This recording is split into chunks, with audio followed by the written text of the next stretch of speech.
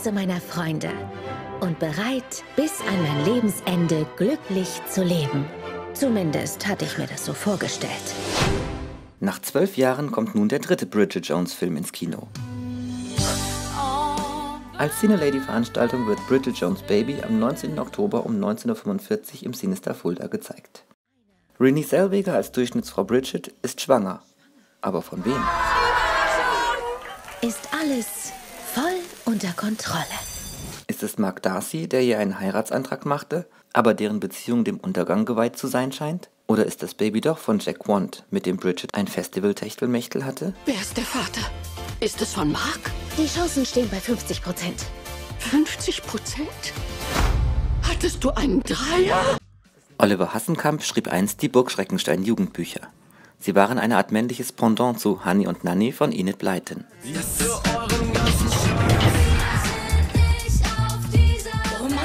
Der elfjährige Stefa soll aufs Internat. Das freut ihn ganz und gar nicht. Doch dort angekommen, wird er bald in den geheimen Ritterbund aufgenommen.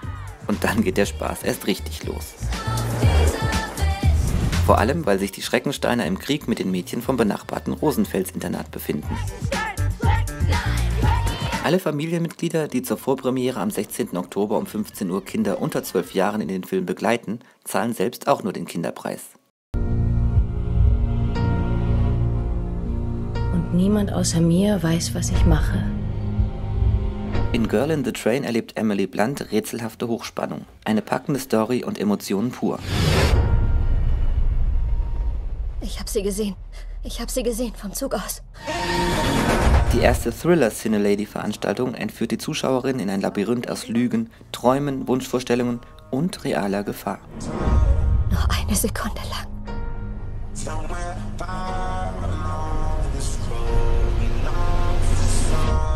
Ist sie das?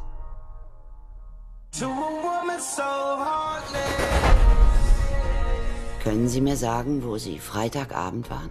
Auch zu dieser Veranstaltung gibt es die aktuelle Zeitschrift Maxi und ein Glas Prosecco inklusive.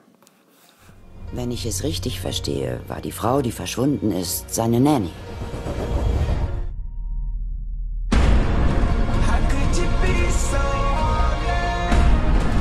Girl in the Train wird am 26. Oktober um 19.45 Uhr im Cinestar Fulda gezeigt. Offizieller Filmstart ist am 27. Oktober. Nein.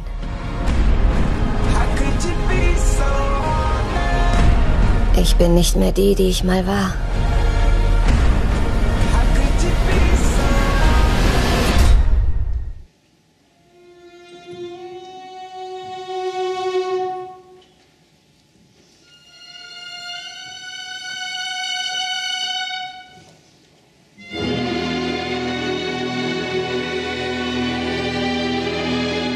Drei Akte hat die Oper Tristan und Isolde von Richard Wagner. Das Musikdrama wird am 8. Oktober um 18 Uhr live aus der Metropolitan Opera New York in Sinister Fulda übertragen. Dirigent der Eröffnung der neuen Saison ist Sir Simon Rattle. Es singen und spielen Nina Stemme, Stuart Skelton, Ekaterina Gubanova und René Pape. Tickets für das Opernerlebnis im Kinosessel kosten 29,50 Euro.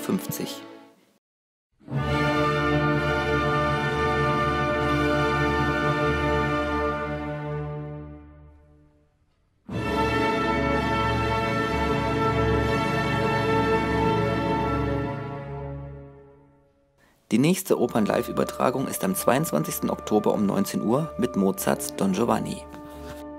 Fabio Luisi dirigiert live aus der Met Simon Keenly Side, Matthew Polenzani, Erwin Schrott und Rolando Villathon im Stoff um den Frauenhelden Don Giovanni.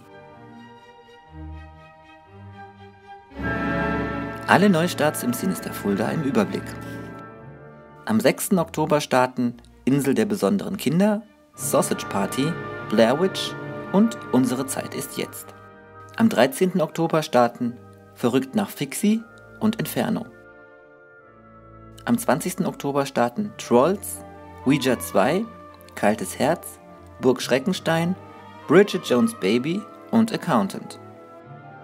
Am 27. Oktober starten Girl in the Train, Kubo der tapfere Samurai, Störche, Abenteuer im Anflug und Doctor Strange.